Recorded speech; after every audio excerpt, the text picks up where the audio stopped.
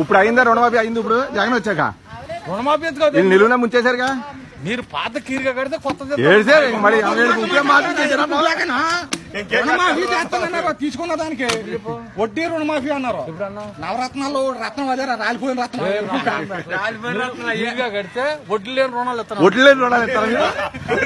వడ్డీ లేని రుణాలు ఇస్తాను చెప్పు. అంతేగాని మీ మీ అప్పుల మీద ఓ తప్పుడు మాటలు మాట్లాడుకో తప్పుడు ఇలా పెడతాం మమ్మల్ని? మాకు ఈ షాప్ ఏంట్రా? నువ్వు నిజం చెప్పు.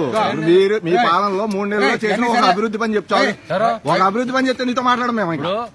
ఈ రెండు నెలల్లో ఎవరైనా అభివృద్ధి చేసేయగలరు మూడు నెలలు? ఒకటి చెప్పు. ఫస్ట్ సంతకం ఆగు. ఒకసారి ఆగు. రాజశేఖర రెడ్డి తొలి సంతకం రైతు రుణమాఫీ అన్నాడు. బంగారంలో చేశాడు. ఆయన నాయకుడు ఆయన. మరి ఇక్కడ తొలి సంతకం? డాక్టర్ ఇది సారీ ఆశా వర్కర్లు పదేళ్ళు అన్నాడు. మూడు నెలల నుంచి జీతాలు ఎత్తలే మరి వాళ్ళు ఏమైపోవాలి? అమ్ముడి అమ్ముడి ఆ, ఇప్పుడు జీతాలు ఎవరికి రాలేదా? అమ్మ మీరు పొద్దున్న లేచి గూట్లోకి వెళ్ళి సాయంత్రం తాగి తొంగుండం తప్ప ఏం తెలవదు అనమాట మీరు మళ్ళీ వైసీపీ నాయకులు. మాకు ఏ పేపర్ లోనూ వస్తలేదు ఇది? ఏ పేపర్ లోనూ రాలేదు ఏ పేపర్లు రాలే రోజు పేపర్లో వస్తుందా? ఏం వస్తుందా? పేపర్లు వస్తలే. మా సాక్షి మీ సాక్షి సాక్షి మీ సాక్షి లేదు కొద్ది మిగతా పేపర్లు ఉన్నాయి అన్ని చూడు ఇవన్నీ వదిలేయి రైతు బంధు అన్నాడు ఎకరానికి పదిహేను వేలు ఇస్తున్నాడు పెట్టుబడి సాయం. నా చేను ఉడిచేసా పొట్టది లేత సిద్ధంగా ఉంది. ఇప్పుడు డబ్బులు రాలా ఆఖరి కూడా మందు వేయాలి. ఆడెత్తాడా నువ్వు ఎత్తావా? ఇప్పుడు మందు అయిపోతే చేను పోతే. ఏంటండి వీడియో నచ్చిందా?